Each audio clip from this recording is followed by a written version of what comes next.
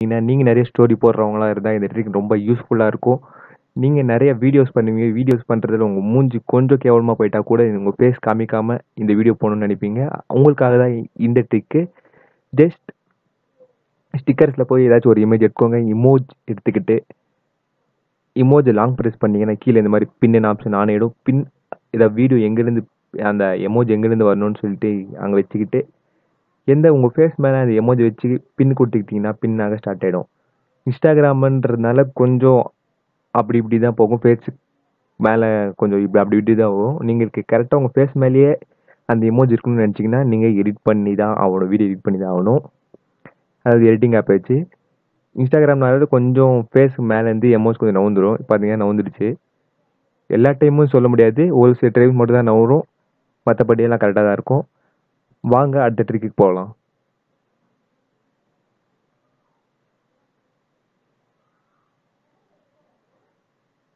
Second trick என்னன்னு கேட்டிங்கன்னா முதல்ல இன்ஸ்டாகிராம் ஓப்பன் பண்ணிக்கோங்க.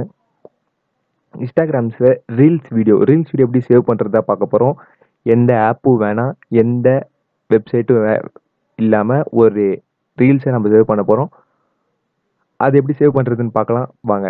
முதல்ல உங்கள் பிடிச்ச ரீல்ஸ் எடுத்துகிட்டு ஷேர் கொடுத்து ஆட் டு யுவர் ஸ்டோரி அப்படின்னு கொடுங்க. ஆட் டு யுவர் ஸ்டோரி கொடுத்தோடனே அந்த ரீல்ஸை ஃபுல் ஸ்க்ரீனாக வைங்க. ஃபுல் ஸ்க்ரீனாக வச்ச உடனே மேலே அங்கே டவுன்லோட் ஆப்ஷன் இருக்கும். அது டவுன்லோட் கொடுத்தோடனே இந்த மாதிரி தான் ப்ராசஸிங் ஆகும். ப்ராசஸிங் ஆன பிறகு வீடியோ சேவ் ஆகிடும் இப்போ உங்கள் கேலரி கேலரியில் போயிட்டு இன்ஸ்டாகிராம் அப்படின்ற ஃபோல்டரில் இருக்கும். அப்படி இல்லைன்னா ஆல் ஃபோட்டோஸில் கண்டிப்பாக இருக்கும். ஆல் ஃபோட்டோஸில் இருக்கும். இல்லை இன்ஸ்டாகிராம் அப்படின்ற ஃபோல்டரில் இருக்கும். உங்கள் ஃபைல் மேனேஜரில் போய் நீங்கள் செக் பண்ணி கூட பார்க்கலாம். பார்த்தீங்கன்னா எனக்கு ஆல் ஃபோட்டோஸில் வந்து சேவ் ஆயிருக்கு. நான் வீடியோ ப்ளே பண்ணி காமிக்கிறேன். பார்த்தீங்கன்னா அந்த ரீல்ஸ் வீடியோ எனக்கு சேவ் ஆயிருக்கு. அடுத்த ட்ரி நம்ம இன்ஸ்டாகிராமில் நிறைய செலிப்ரிட்டிஸ் இருப்பாங்க. செலிப்ரிட்டிஸ் அந்த ப்ளூ டிக் கொடுத்துருப்பாங்க. இப்போ இருக்கு அனிகா சொன்னதுக்கு இந்த ப்ளூ டிக் கொடுத்துருக்காங்க. பார்த்தீங்கன்னா இந்த ப்ளூ டிக் எடுத்து வரதுக்கு நிறைய ப்ராசஸ் இருக்குது நான் அது அடுத்த வீடியோவில் முடிஞ்சா போடுறேன். அடுத்த வீடியோவில் இன்னும் கொஞ்சம் ரெண்டு ஒரு மாதத்தில் போட்டுருவேன். வீடியோஸ் அது அதுக்கு அந்த வீடியோ பார்க்கணுன்னா சப்ஸ்கிரைப் பண்ணி வச்சுக்கோங்க.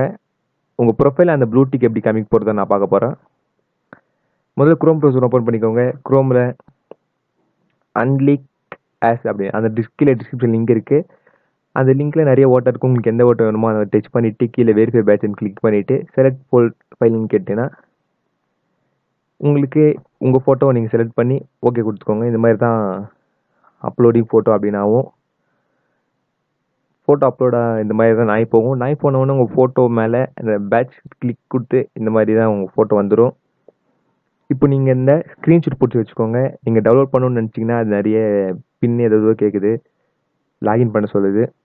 உங்களுக்கு விருப்பம் தான் லாகின் பண்ணிக்கலாம். அப்படி வேணாம்னா இந்த மாதிரி இந்த மாதிரி நீங்கள் ஸ்க்ரீன்ஷாட் பிடிச்சி வச்சுக்கோங்க. ஸ்க்ரீன்ஷாட் பிடிச்சிக்கோங்க. நான் டவுன்லோட் கிளிக் பண்ணி பார்க்குறேன் டவுன்லோட் கிளிக் கொடுத்தவொடனே பார்த்தீங்கன்னா என்னென்னவோ கேட்குது கார்டு நம்பர் அப்படின்ட்டு.